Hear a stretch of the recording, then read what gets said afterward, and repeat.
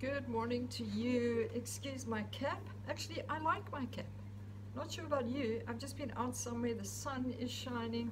So I've still got my cap on. Also, I'm not having a good hair day. I'm, I'm on my way to the hairdresser. Um, but, and also, I've got a washing machine going in the background. So this morning, I'm just giving you some very real news. And this is for all the ladies out there. So I thought I may as well just keep my cap on.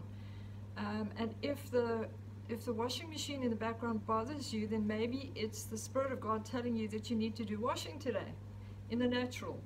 So I've been thinking about this. this the reason I say this is for the ladies is that um,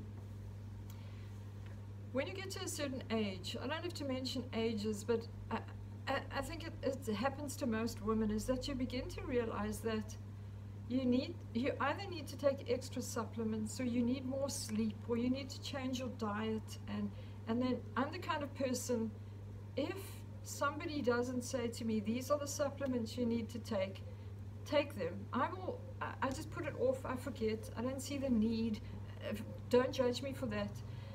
So I'm not very disciplined when it comes to taking supplements and that kind of thing and water. I forget to drink water. So all these natural things unless somebody's telling me to do it, reminding me to do it, I will just not do it and I get on with life. Um, but there are certain things that I've tried and they just don't work. You know, you go, you read, you see in your in your news feed, or all these adverts pop up on social media, how to lose your stomach over a certain age. Do all these exercises, and and and there are these things out there to take probiotics or not to take collagen supplements or not, all of these things. And it just bombards us on a daily basis. And so I've tried a whole lot of things, and I can honestly say that a lot of them have not worked for me. I haven't found that perfect thing. Now, please, I'm not asking you for health advice. I've got enough of that. I just need to be disciplined. Um, but I have found one thing that works, and so here's my key for you as a woman today who's looking to find this you know, this place where we feel our bodies are operating, we're in, uh, uh, we feel healthy and strong, we're getting enough sleep because we have peace in our lives. And I found the biggest key, the only one that works for me. Maybe now you can hear the beeping of my washing machine telling me the cycle has been completed. So this is what works for me reading the scriptures, knowing the peace of God. And even if my life doesn't, uh, uh, you know, even if I feel as if I don't have everything together in my life, my prayers, I'm still waiting for the answers to prayers. I still feel tired in my body. You know, I still need to lose belly fat and that kind of thing. I do enjoy a good pizza. You know, all of these things that go on in our minds. Maybe you're praying for your kids.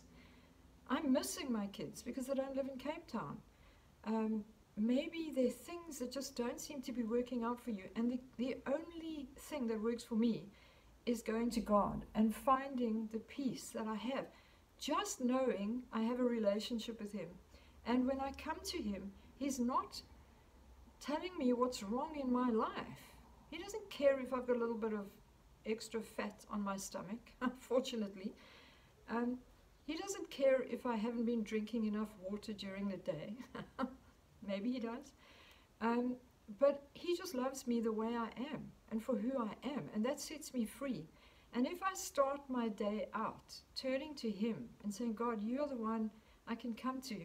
You know, it's like when um, uh, you, we come to God and, and we expect him to point out all our faults and the things we did wrong and he doesn't. And so I've got two scriptures to read for you to read to you today, and the one is, and I'm reading from Psalms, the uh, the Psalms, poetry on fire. It's the Passion Translation. Psalm 116, um, 1 and 2. Listen to this. It's actually, yeah, 1 and 2. I am passionately in love with God because he listens to me. Every woman's dream every person's dream, but I'm a woman, so I can speak from my point of view. To have somebody who will give you their undivided attention. And in this world, it's so difficult to find. I'm, I struggle, at, even myself, uh, even myself, to give somebody my undivided attention. When your phone beeps and there's an email, there's a phone call that comes in, there's a nice car or somebody wearing a nice dress walks past, you know. So to, to, for, for me, to receive undivided attention is amazing. And so this is, this is what God does with us. I'm passionately in love with God because He listens to me. He hears my prayers and answers them. As long as I live, I'll keep praying to Him, for He stoops down to listen to my heart's cry. This is why this is the best probiotic, antibiotic, medicine, health, giving, life giving substance and sustenance we can have in our lives. And here's another one Psalm 69, verse 13. I know you will bend down to listen to me, for now is the season of favor. So, as much as I would love to find this magic potion of something that will make me feel fantastic from the time I get up in the morning until I go to bed at night, and then, you know, I'm a good sleeper. I don't have a problem with sleep. I don't ha- really have a problem with frustration. I'm, I don't get depressed easily. But I've learned to put all the little things aside that bug me. I'm learning. The things that irritate me and frustrate me. The, the things I'm waiting for God to do, this anticipation, this, you know, hurry up and do it today, please God.